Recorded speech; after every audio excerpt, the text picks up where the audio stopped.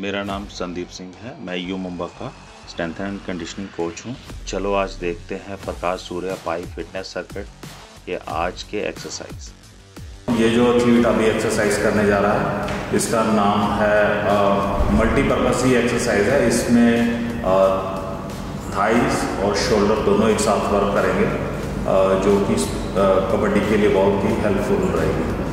ये actually multipurpose इसके लिए है क्योंकि इसमें थाइस है, उसका फ्रंट थाई और हैमस्ट्रिंग दोनों वर्क कर रहे हैं और साथ में इसका शोल्डर भी कर रहा है। इसके तीन सेट और टेन रेपिटेशन अगर एक एथलीट करता है तो उसके लिए अच्छा है।